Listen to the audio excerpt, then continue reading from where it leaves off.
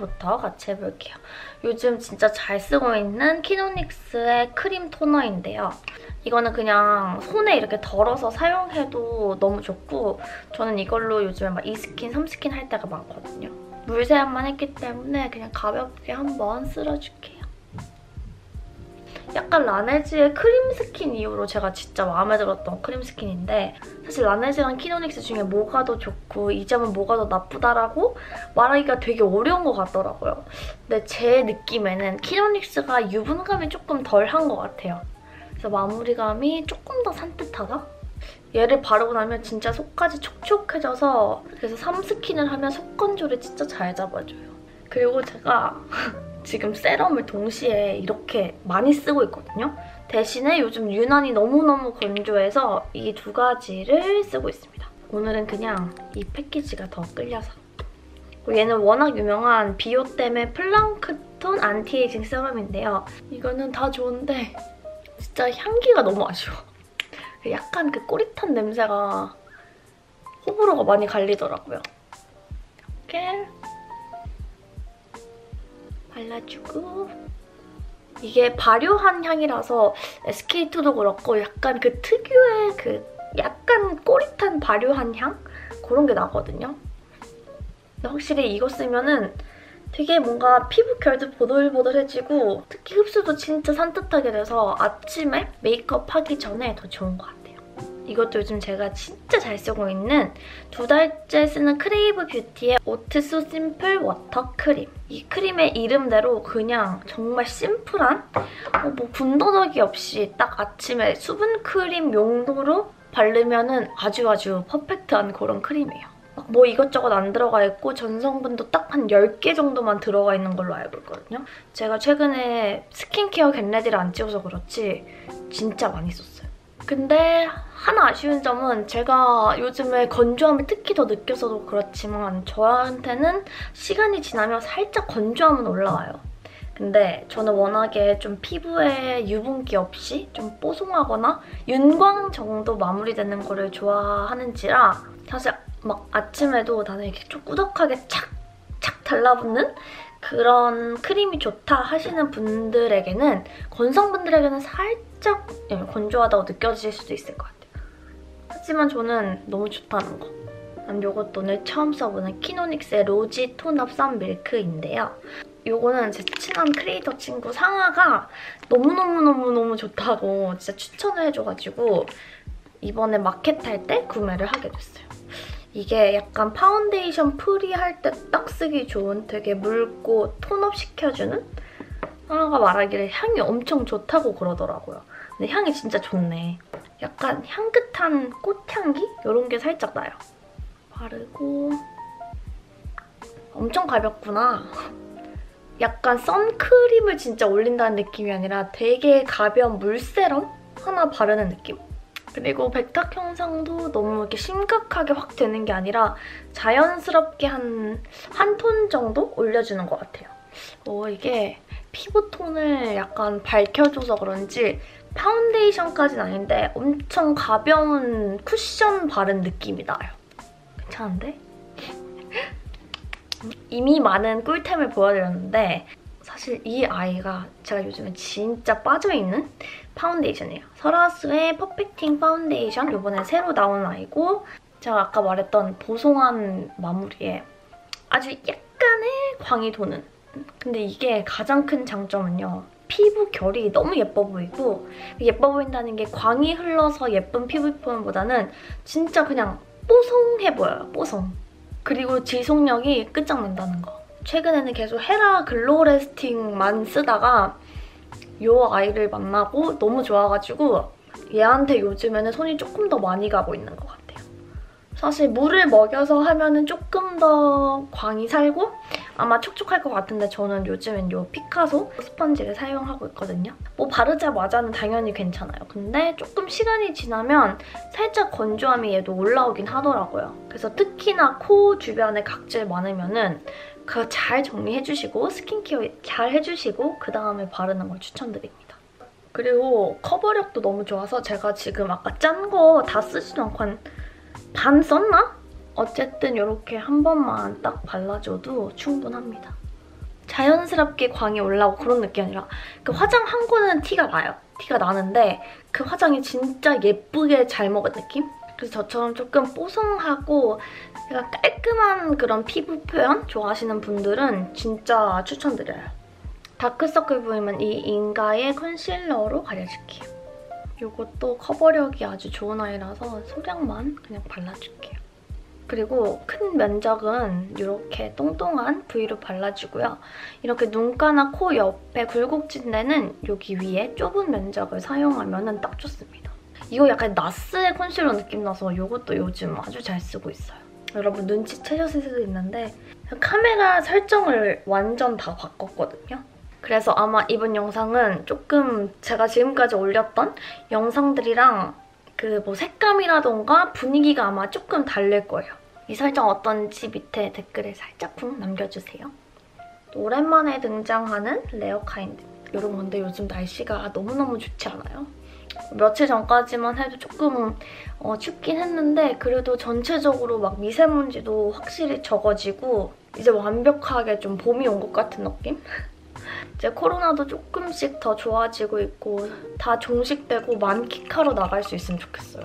그리고 갑자기 이거 커피 마시다가 생각난 건데 코 쉐이딩을 하면서 얘기를 할게요. 확실히 집에 많이 있으니까 마켓컬리 이런 거를 좀 많이 확실히 시키게 되더라고요. 제가 커피를 엄청 좋아하잖아요. 뭐 말 안 해도 이미 아시겠지만 저희 엄마도 커피를 진짜 좋아하시는데 그 체질상, 엄마의 건강상 카페인 많은 음료가 별로 몸에 좋지 않다고 해서 뭐 누구한테나 그렇겠지만 엄마는 좀 특히 그거에 영향을 더 많이 받아요. 잠도 잘못 못 자고 그래서 디카페인으로 원두로 이렇게 맨날 갈아 마셨는데 그게 원두가 막 이만큼씩 오는 게 아니라 진짜 조금씩 와요. 그래서 일주일에 집으로 이렇게 두 번 정도 배송을 받는데 저희 집안이 다 커피를 좋아하거든요. 그게 진짜 틈만 나면 다 거덜이 나는 거야. 그리고 노동력도 너무 많이 들어가고 귀찮고 이래서 이번에 마켓컬리에서 콜드브루를 시켜가지고 지금 한번 제가 마셔본 거거든요. 사실 일반 커피만큼 엄청 맛이 있진 않은 것 같아요. 디카페인 자체가. 있으면 좀 알려주세요. 제가 신맛 나는 커피를 별로 안 좋아하거든요. 근데 신맛이 그렇게 강한 편도 아니고 약간 적당히 맛있게 신맛이 나고 확실히 저렇게 하니까 편하기도 하고 조금 더 오래 마실 수 있어가지고 좋은 것 같더라고요. 가격도 가격이고 이제 이목구비에 조금씩 어, 무에서 유가 좀 창조되고 있는 그런 단계입니다. 그다음에 클리오의 Kill Brow brow pencil 사용할게요. 제가 눈썹을 또 최근에 조금 다듬었는데 원래 약간 곡선이 많이 진 이런 형태의 끝이 뾰족한 그런 눈썹을 즐겨 했거든요. 근데 또 최근에는 곡선이 너무 많이 진 것보다 살짝 flat한 그래서 밑에를 너무 얄쌍하게 안 그려주고 약간 일자로 빼서 그려줄게요. 나 그래서 제가 아직 인스타는 안 올렸는데 제가 저번 주에 네일을 바꾸고 왔거든요. 근데 너무너무 귀엽고 마음에 드는 거예요. 사실 젤 네일은 한 번 하고 나면은 뭐 1, 2주 뒤에 바꾸는 게 아니라 거의 막 3주, 길게는 4주, 5주까지도 버티는데 최대한 조금 깔끔한 무늬나 오래오래 봐도 이렇게 질리지 않는 색감으로 하는 거를 조금 선호하는 스타일이거든요. 근데 이번 네일이 완전 딱 그래요. 베이지, 핑크? 핑크 베이지를 살짝 깔고 그 위에 이렇게 선을 하나씩 그렸어요. 근데 약간 봄 느낌 내려 노랑, 주황, 연보라, 하늘색 이렇게 올려봤는데 그리고 저는 확실히 네일을 하고 나면 은 기분 전환되는 1인이라서 이렇게 자꾸 보면 은 기분이 좋더라고요. 얘기를 하고 있는 와중에 눈썹이 다 완성이 됐습니다. 눈 화장은 이걸로 해볼게요. 이번에 새로 나온 삐아의 final shadow palette 트로트 스타. 얘는 전체적으로 약간 브라운에 말린 장미빛이 섞인 그런 컬러인데요. 사실 얘네들은 펄감이 진짜 엄청나게 화려한 아이들이에요. 우선 얘부터 기본 컬러로 깔아줄게요. 너무 색감이 화려한 아이 메이크업은 하지 않을 거예요. 여러분들도 다 그러지 않아요? 그냥 화장하는 횟수 자체도 조금 줄었고 아무래도 마스크를 쓰고 나가야 되는 일이 많으니까 옛날만큼 막 화장을 공들여서 하면 너무 아쉬워. 왜냐면 조금 있다가 막 마스크에 다 묻고 어차피 지워져서 뭐 립이랑 코까지는 거의 안 보이니까 뭐 대충 하고 다니게 되는 것 같아요. 요즘에는 생얼로 다닐 때가 진짜 많았는데 이렇게 바르고 여기 밑에 살짝 회보랏빛 나는 이 컬러를 둘 다 무펄이에요. 뭔가 되게 분위기 있는 약간 제가 봤을 때는 바비브라운 antique rose가 연상되는 그런 컬러예요. under 살짝 도톰하게 잡아주고 그 요즘에는 뭔가 트렌드 자체도 옛날에 한창 뭐 말린 장미, MLBB 이런 거 유행했을 때는 눈에도 막 말린 장미색 왕창 올리고 조금 색감을 다양하게 썼던 것 같은데 요즘에는 옷도 그렇고 뭔가 약간 꾸안꾸라는 키워드가 메이크업에도 똑같이 적용이 되는 것 같아요. 이렇게 가볍게만 올려주고요. 여기 가운데 세 가지는 살짝 오늘 메이크업에는 어울리지 않을 것 같고 여기 제일 아래 있는 이 상아빛의 약간 펄 입자가 커다란 이 아이를 눈 앞에만 몇 개 콕콕 박아줄게요. 사실 요즘에 무슨 영상을 찍어야 될지 약간 감을 잃은 것 같은? 나가서 무언가를 찍는다는 거는 약간 조심스러운 부분이기도 해서요. 브이로그를 밖에서 막 찍는다거나 그럴 수도 없고 여행도 하, 진짜 너무 속상해.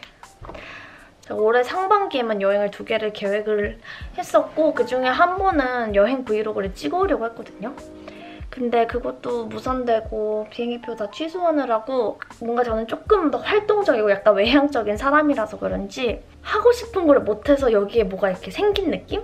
그리고 가장 진한 이 컬러로 가이드라인을 살짝 메워줄게요. 삼각 정도 살짝 메우고 언더 점막 따라서 한번 지나가줘요. 아 그러면 패션 관련 영상을 찍어야겠다 하고 두 개를 연달아 찍고 이랬거든요. 근데 사실 그거 입고 다 나갈 것도 없어요. 패션 관련된 거 다 찍었지. 최근에 브이로그도 올렸지. 어, 오늘 get ready도 찍었지. 그러니까 약간 내가 뭘 찍어야 될까 그런 거에 대한 고민이 좀 많아졌던 것 같아요. 아 이렇게 하니까 확실히 눈이 빡 뚜렷해졌죠. 저는 이거를 했을 때 좀 차이가 있는 것 같더라고요. 다음에 바비 브라운의 long-wear waterproof liner. 이걸로 먼저 점막을 싹 채울게요. 그냥 이런 일상 얘기도 되게 좋고 저는 어떤 주제를 딱 정하고 그거에 대해서 얘기하는 것도 저번 해봤을 때 되게 재밌더라고요. 그래서 다음 get ready 때는 제가 한번 어떤 토픽을 딱 가지고 와서 여러분들이랑 수다 떠는 것도 재밌을 것 같아요. 근데 또 너무 주제가 무겁고 이러면 제가 심각한 진지충이 될 수도 있거든요. 그래서 그러지 않기 위해서 어, 적당히 무겁지만 적당히 또 가벼운 그런 주제로 한번 준비를 해볼게요. liner도 그냥 정말 깔끔하게 제가 항상 하고 다니는 제 눈 모양에 맞춰서 그냥 그려줬고요. 다음 뷰러를 좀 찝어줄게요. 제가 항상 말했듯이 제 아이 메이크업의 포인트는 이 뷰러와 마스카라예요.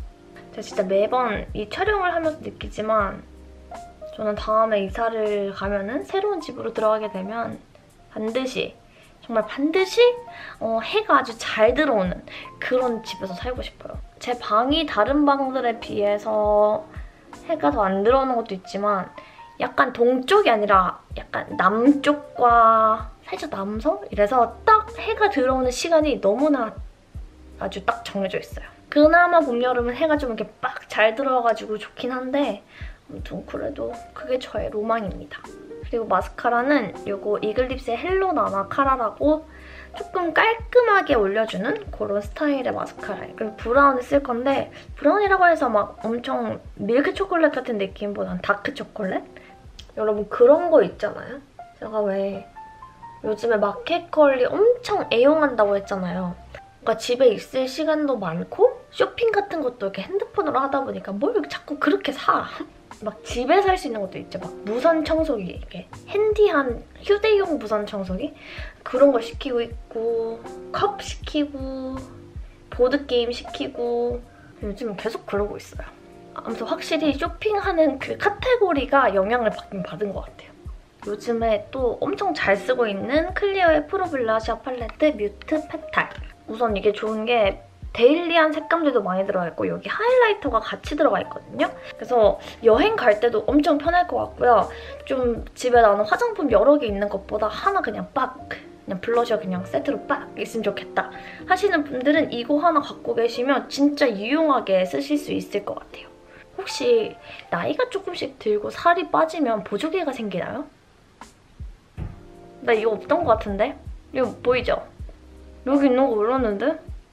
방금 제가 말하고 있었는데 여기가 막 쏙쏙 들어가서 처음 보는 현상인디? 아무튼 저는 블러셔 요렇게 두 개를 많이 섞고요. 조금 더 느낌 있게 하고 싶다 할 때는 여기 보랏빛 요거를 살짝 섞어주는 편이에요. 근데 오늘은 너무 샤방샤방 느낌보다는 약간 눌러주고 싶어서 요 위에 두 개만 가볍게 깔아줄게요. 가볍게 깔 때 가장 좋아하는 위치는 광대 감싸면서 여기 앞쪽까지 이렇게 가볍게 깔아줍니다. 그냥 생기 돌 정도만. 그다음에 아까 말했던 이 하이라이터 있죠? 이것도 진짜 자연스러운 하이라이터예요. 그러니까 부담스럽지 않고 daily로 하기 딱 좋은 그런 컬러라서 이렇게 눈앞에 살짝 올려주기 딱 좋습니다. 이게 하이라이터 주고 제가 좋아하는 인중 하이라이터. 약간 약간 사람이 옹골차 보이는 그런 느낌? 이거 이미 많이 보셨을 것 같은데 헤라의 Spicy Nude Volume Matte 전 이 두 가지 컬러를 가장 좋아해요. 누드 크림이랑 Sour Tomato. 약 마무리가 뽀송하거든요. 근데 바를 때는 진짜 슬라이딩 하듯이 부드럽게 이렇게 싹 발려요. 그래서 약간 립밤 느낌처럼 그냥 슥슥 바르기 엄청 편한 그런 아이예요. 이거는 누드 크림의 약간 누드 베이지? 전체적으로 깔고요. 야, 어떻게 제형이 이러지? 그래서 제가 요즘에 누구 만나면 야 이거 발라봐 이러면서 바르게 하고 이렇게 하나만 깔아도 되게 차분하면서 분위기 있는 그런 느낌을 연출을 하는데 근데 사실 저는 저 누드 크림보다 이 Sour Tomato가 개인적으로 이번 헤라 전 라인 중에 가장 원픽이거든요. 근데 또 신기하게 얘가 레드에 오렌지가 떨어진 그런 색감이에요. 저는 근데 오렌지가 진짜 안 받아서 이게 나한테 잘 어울린다는 게 너무 신기한 거예요. 그래서 더더욱 약간 이거는 warm cool 안 가리고 누구나 예쁘게 사용할 수 있는 오렌지 레드 컬러구나 라고 생각을 하게 됐죠. 방금 정말 굉장히 어, 광고 같은 멘트였지만 광고 아니라는 거. 안쪽에 이렇게 발라주고요. 이게 여러 번 왔다 갔다 해도 막 발색이 한 번에 빡 나오는 아이가 아니라서 그라데이션 하기에 되게 편하고요. 음, 진짜 색감 예쁘죠? 이게 지금은 약간 윤기가 이렇게 나 보이는데 진짜 몇 분만 지나도 싹 뽀송해지거든요. 개인적으로 촉촉파보다는 보송파인 저의 취향을 제대로 이렇게 저격한 그런 아이였습니다. 아주 정말 딱 적당히. 너무 좋아. 그럼 저는 이제 옷을 입고 돌아오겠습니다. 옷은 저번 패션 룩북에서 보여드렸던 얇은 라일락 색감의 크롭 기장 이런 아이를 하나 입었고요. 밑에는 이렇게 품이 살짝 넉넉한 이런 핏의 청바지를 입었어요. 그리고 이렇게 반지 3개는 제가 요즘에 진짜 많이 끼고 다니는 조합인데요. 정말 이 반지도 그렇고 이 목걸이도 그렇고 문의가 진짜 너무 많이 꾸준히 와가지고 아예 영상에 딱 박제를 해두려고요. 우선 이 목걸이랑 이 10월 58 탄생석, 탄생석 반지는 디디에 듀보 제품이고요. 이 원석 반지랑 이 나비 문양의 실버 애끼링 이거는 둘 다 딥브로우 제품이에요. 귀걸이는 이 아이를 껴줄 건데요. 이것도 딥브로우 제품이에요. 내가 딥브로우 제품이 엄청 많구나.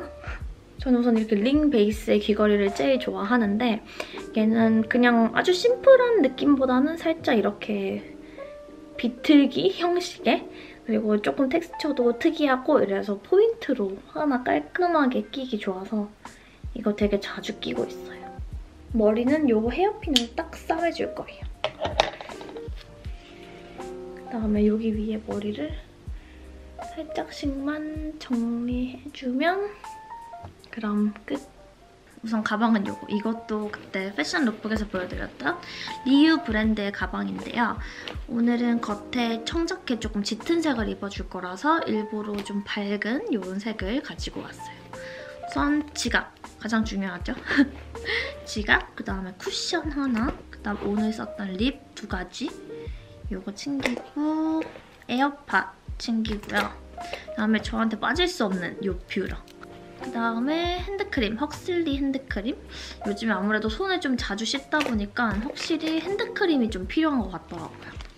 그 다음에 이것도 빠질 수 없는 마스크까지 가지고 나갈 겁니다. 위에 아우터는 요거 자라. 이것도 자라 haul 때 보여드렸던 청자켓인데 요즘에 진짜 가장 많이 손이 가는 아우터 중에 하나예요. 오늘은 얘를 짧게 말고 길게 매는 게 예쁠 것 같아요. 여기 안에 끈이 하나 더 있거든요. 긴 거. 이렇게 예쁘다. 그다음에 향수. 이 제품은 바이레도 제품인데 Rose of No Man's Land라고 어, 제가 원래 rose 향을 엄청 좋아하진 않거든요. 근데 얘는 그냥 그냥 rose 향이 아니라 rose 향이 약간 알싸한 뭔가 쌉싸름한 그런 향이 더해져서 어, 괜찮더라고요. 근데 얘는 잔향이 약간 세가지고 너무 많이 뿌리면 약간 too much다 싶어서 한 번만 뿌리고요. 한 반 정도 되게 잉 소심하게 뿌린 다음에 이렇게 찔러줍니다.